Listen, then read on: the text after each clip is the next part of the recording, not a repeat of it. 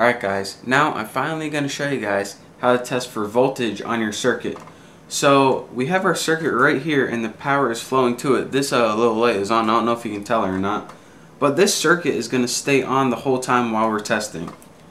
So now plug your leads in to uh, COM and voltage respectively.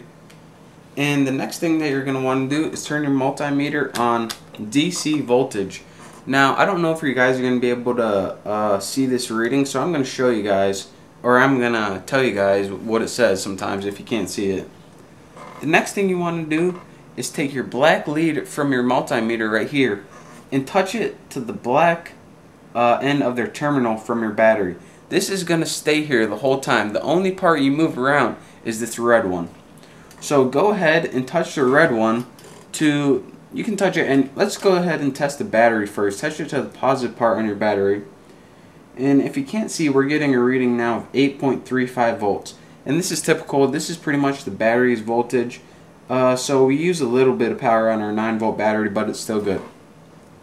Next, go ahead and move it right before the resistor. And as you can see, we still get a reading of 8.33. And this is good because this is just a pipeline and it shouldn't use any current yet. But let's see what happens if we move it right after the resistor. If we move it right after the resistor, then we get a reading of 2.815 volts. And this is because the resistor is doing its job. It's limiting the amount of electric current that flows through. And since it's resisting the electric current, the voltage drops significantly. So that's why that drops. And as you can see, it should be the same right before the LED light. And let's see what we get. 2.813, so that's good.